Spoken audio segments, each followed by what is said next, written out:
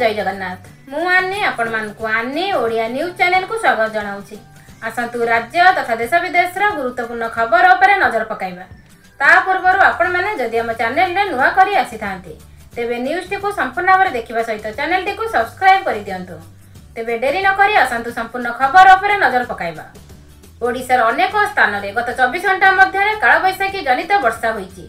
ଫଳରେ ଗତ କିଛି ଦିନର ଅସହ୍ୟ ଗରମ ଓ ଗୁଳିଗୁଳିର ରାଜ୍ୟବାସୀଙ୍କୁ ଆଶ୍ୱସ୍ତି ମିଳିଛି। ଆହୁରି ଦୁଇ ଦିନ ଯାଏ ରାଜ୍ୟରେ ବର୍ଷା ହେବାର ସମ୍ଭାବନା ରହିଛି। ଏନେଇ ଭୁବନେଶ୍ୱର ସ୍ଥିତ ଆଞ୍ଚଳିକ ପାଣିପାଗ କେନ୍ଦ୍ର ପକ୍ଷରୁ ସୂଚନା ଦିଆଯାଇଛି।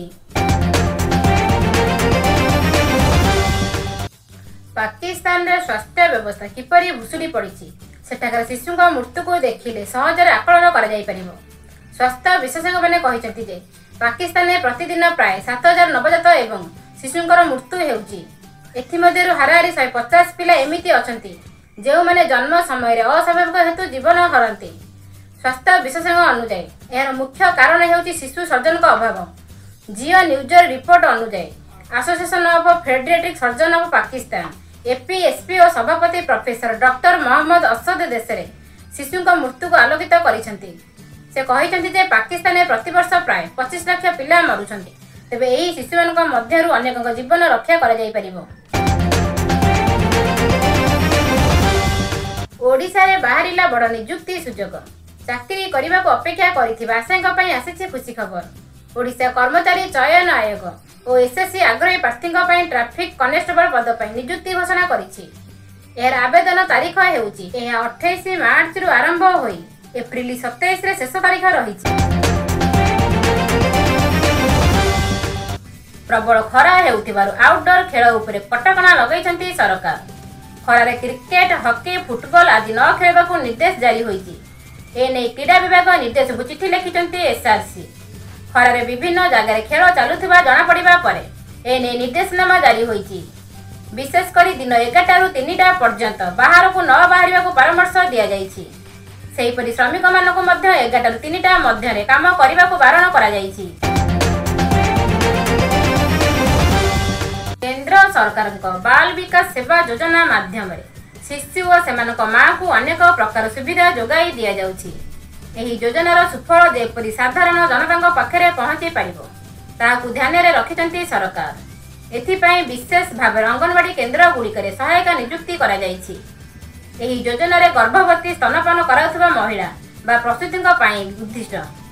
ମୂଳତଃ ଏହି ଯୋଜନାରେ ଏକ ମାସରୁ ଦଶ ବର୍ଷ ପର୍ଯ୍ୟନ୍ତ ପିଲାଙ୍କୁ ଅନେକ ସୁବିଧା ଯୋଗାଇ ଦିଆଯାଉଛି। ଏଥିପାଇଁ ସରକାର ଆଇସିଡିଏସ୍ ନାମକ ଯୋଜନା ଆରମ୍ଭ କରିଛନ୍ତି। ଏହି ଯୋଜନାରେ ପ୍ରତି ମାସରେ ପିଲାଙ୍କ ପାଇଁ ଦୁଇ ହଜାର ପାଞ୍ଚଶହ ଟଙ୍କା ବ୍ୟାଙ୍କ ଖାତାରେ ଜମା କରୁଛନ୍ତି ସରକାର। ଏହି ଟଙ୍କାରେ ମା ନିଜ ପିଲାଙ୍କୁ ପୁଷ୍ଟିକର ଆହାର ଦେଇପାରିବେ। ଏଣୁ ଏହି ଯୋଜନା ସମ୍ପୂର୍ଣ୍ଣ ଭାବରେ ମହିଳା ଓ ଶିଶୁଙ୍କ ପାଇଁ ସମର୍ପିତ।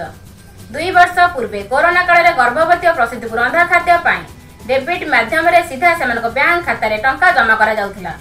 ଏହି ଯୋଜନାର ନାମ ହେଉଛି ଅଙ୍ଗନବାଡି ଲାଭାର୍ଥୀ ଯୋଜନା। ଚାଲାଣ କରୁଥିବା ଏକ ବଡ଼ ଗ୍ୟାଙ୍ଗକୁ ଧରିଛି କେନ୍ଦ୍ରୀୟ ତଦନ୍ତ ବ୍ୟୁରୋ ସିବିଆଇ। ସିବିଆଇ ଦିଲ୍ଲୀର ବିଭିନ୍ନ ସ୍ଥାନରେ ଚଢ଼ାଉ କରି କେଶବପୁରମ ଅଞ୍ଚଳରେ ଅବସ୍ଥିତ ଏକ ଘରୁ ତିନି ନବଜାତ ଶିଶୁଙ୍କୁ ଉଦ୍ଧାର କରିଛି। ସିବିଆଇ ସୂତ୍ର ଅନୁଯାୟୀ ନବଜାତ ଶିଶୁମାନଙ୍କୁ କଳା ବଜାରରେ ଦ୍ରବ୍ୟ ଭାବରେ କିଣାଯାଉଥିଲା। ଏହି ଅପରେସନର ପରିସର ଦିଲ୍ଲୀର ସୀମାଠାରୁ ବହୁ ଦୂରରେ ବ୍ୟାପିଛି ଏବଂ ଜାତୀୟ ରାଜଧାନୀ ଅଞ୍ଚଳରେ ସାତରୁ ଆଠ ଜଣ ଶିଶୁ କାରବାର ସମ୍ପୃକ୍ତ ଥିବା ବ୍ୟକ୍ତିଙ୍କୁ ସିବିଆଇ ଗିରଫ କରିଛି। ଗିରଫ ହୋଇଥିବା ଲୋକଙ୍କ ମଧ୍ୟରେ ଡାକ୍ତରଖାନା ୱାର୍ଡ ବୟ ଏବଂ ଅନ୍ୟାନ୍ୟ ମହିଳା ଅଛନ୍ତି। ସିବିଆଇ ସୂତ୍ର ଅନୁଯାୟୀ ଗତ ଏକ ମାସ ମଧ୍ୟରେ ପ୍ରାୟ ଦଶ ପିଲାଙ୍କୁ ବିକ୍ରି କରାଯାଇଛି ଏବଂ ମୋଟ ସାତ ଜଣ ବ୍ୟକ୍ତିଙ୍କୁ ଗିରଫ କରାଯାଇଛି। ମୁଖ୍ୟମନ୍ତ୍ରୀ ଦୁଇ ଦୁଇଟି ଆସନରୁ ନିର୍ବାଚନ ଲଢ଼ିବେ। ବିଜେଡି ଫୋକସରେ ଏବେ ପଶ୍ଚିମ ଓଡ଼ିଶା ତେଣୁ ଚର୍ଚ୍ଚା ହେଉଛି। କଳାହାଣ୍ଡିରୁ ପ୍ରାର୍ଥୀ ହୋଇପାରନ୍ତି ମୁଖ୍ୟମନ୍ତ୍ରୀ ନବୀନ ପଟ୍ଟନାୟକ। ବରିଷ୍ଠ ବିଜେପି ନେତା ତଥା ରାଷ୍ଟ୍ରୀୟ ଉପସଭାପତି ବୈଜୟନ୍ତ ପଣ୍ଡାଙ୍କ ହସ୍ତକ୍ଷେପ ପରେ ଲାଓସରେ ଫସି ରହିଥିବା ସତର ଜଣ ଓଡ଼ିଶା ଶ୍ରମିକ ଓଡ଼ିଶା ଫେରିଛନ୍ତି। ସେମାନେ ଓଡ଼ିଶାରେ ପହଞ୍ଚିବା ନେଇ ଦୂତାବାସ ତରଫରୁ ସୂଚନା ମିଳିଛି। ଫସିଥିବା ସତର ଓଡ଼ିଆ ଶ୍ରମିକଙ୍କୁ ଉଦ୍ଧାର କରି ସୁରକ୍ଷିତ ଭାବେ ଭାରତ ଫେରାଇ ଆଣିବା ପାଇଁ ଭାରତୀୟ ରାଷ୍ଟ୍ରଦୂତଙ୍କୁ ହସ୍ତକ୍ଷେପ କରିବାକୁ ଗତ ମାସ ସତେଇଶ ତାରିଖରେ ଶ୍ରୀ ପଣ୍ଡା ଏକ ଚିଠି ଲେଖି ନିବେଦନ କରିଥିଲେ। ବଢି ଚାଲିଛି ସୁନା ଦର ଭୁବନେଶ୍ୱରରେ ଚବିଶ କ୍ୟାରେଟ ସୁନାର ମୂଲ୍ୟ ଦଶ ଗ୍ରାମ ପିଛା ଏକସ୍ତରୀ ହଜାର ଦୁଇଶହ ନବେ ଟଙ୍କାରେ ପହଞ୍ଚିଥିବା ବେଳେ ବାଇଶ କ୍ୟାରେଟ ସୁନା ଦର ଦଶ ଗ୍ରାମ ପିଛା ପଞ୍ଚଷଠି ହଜାର ତିନିଶହ ପଚାଶ ଟଙ୍କାକୁ ବୃଦ୍ଧି ପାଇଛି। ସେହିପରି ରୂପା ଦର କିଲୋଗ୍ରାମ ପିଛା ଦୁଇ ହଜାର ଟଙ୍କା ମହଙ୍ଗା ହୋଇ ସତାଅଶୀ ହଜାର ଟଙ୍କାରେ ପହଞ୍ଚିଛି। ମାଳଦ୍ୱୀପ ସରକାରଙ୍କ ପାଇଁ ଚଳିତ ଆର୍ଥିକ ବର୍ଷରେ ଅତ୍ୟାବଶ୍ୟକ ସାମଗ୍ରୀ ଉପରେ ରପ୍ତାନୀ କଟକଣା ଉଠାଇଥିବାରୁ ଭାରତକୁ କୃତଜ୍ଞତା ଜ୍ଞାପନ କରିଛି।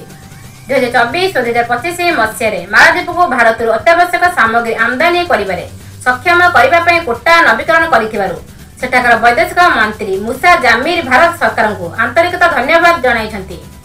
ମାଳଦ୍ୱୀପକୁ କେଉଁ ସାମଗ୍ରୀ ରପ୍ତାନୀ ହେବ? ଏହି ଚୁକ୍ତି ଅନୁଯାୟୀ ଭାରତ ଅଣ୍ଡା ଆଳୁ ପିଆଜ ଚାଉଳ ଗହମ ଅଟା ଚିନି ଏବଂ ଡାଲି ଭଳି ଅତ୍ୟାବଶ୍ୟକ ସାମଗ୍ରୀ ରପ୍ତାନୀ କରିବ। ଏହି ସାମଗ୍ରୀ ବ୍ୟତୀତ ଭାରତ ମାଳଦ୍ୱୀପକୁ ପଥର ଏବଂ ବାଲି ମଧ୍ୟ ଯୋଗାଇ ଦେବ ରାସନ କାର୍ଡକୁ ନେଇ ସୁପ୍ରିମକୋର୍ଟର ବଡ଼ ନିର୍ଦ୍ଦେଶ। ଦୁଇ ମାସ ଭିତରେ କାର୍ଡ ତିଆରି କରି ଦେବ ରାଜ୍ୟ ଓ କେନ୍ଦ୍ର ସରକାରଙ୍କୁ ଆଦେଶ ଦେଲେ ସର୍ବୋଚ୍ଚ ନ୍ୟାୟାଳୟ। କେନ୍ଦ୍ର ସରକାରଙ୍କର ଇ ଶ୍ରମ ପୋର୍ଟାଲରେ ରେଜିଷ୍ଟର ଥିବା ଓ ଅସଂଗଠିତ କ୍ଷେତ୍ରରେ କାମ କରୁଥିବା ଲୋକଙ୍କୁ ରାସନ କାର୍ଡ ପ୍ରଦାନ କରିବାକୁ କୋର୍ଟ ପକ୍ଷରୁ ଆଦେଶ ମିଳିଛି। ଏଭଳି ଲୋକଙ୍କ ସଂଖ୍ୟା ଆଠ କୋଟି ପାଖାପାଖି। କାର୍ଡ ମିଳିଲେ ଏଭଳି ଲୋକଙ୍କୁ କେନ୍ଦ୍ର ଓ ରାଜ୍ୟ ସରକାରଙ୍କ ଯୋଜନା ଓ ରାଷ୍ଟ୍ରୀୟ ଖାଦ୍ୟ ସୁରକ୍ଷା ଯୋଜନାରେ ଦୁଇ ହଜାର ତେର ଅଧୀନରେ ଲାଭ ମିଳିବ।